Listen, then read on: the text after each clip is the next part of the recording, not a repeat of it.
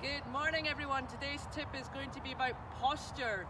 We all talk about golf being an athletic sport, so let's get in an athletic position at the start of the golf swing. So, what do we mean by that? We mean getting into a position that creates some angles. So, I see a lot of mistakes made before you even hit the golf ball. I see too much knee bend and people back on the heels here. I don't. I see too many people standing straight up like this. So when we mean posture, I want you to feel, remember, feel is not real, but I want you to feel that the weight is actually on the inside of the balls of your feet and your shoulder line would be just in front of your toe line. So here I am hitting a mid iron and it would look like this, okay? I feel a nice little um, pinch in my core muscles here. I'm engaging my core. That's always a good thing to do. So a nice and athletic.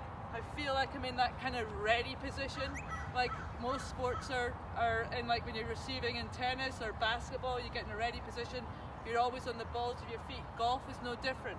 Okay, so here we go. Nice and relaxed here. Hands hanging down underneath my shoulders.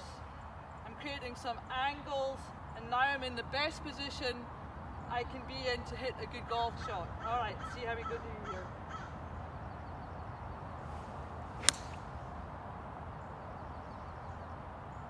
Not too shabby. Get in a good posture to start with, and I'm sure you'll hit better golf shots. That's it from Molly and myself for this Saturday morning.